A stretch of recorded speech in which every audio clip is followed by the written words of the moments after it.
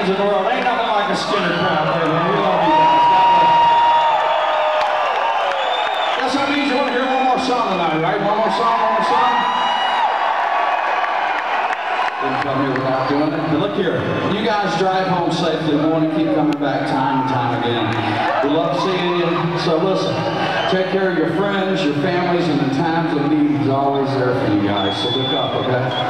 And hey, Orlando, In the words of my older brother, Ronnie Van Zant. What song?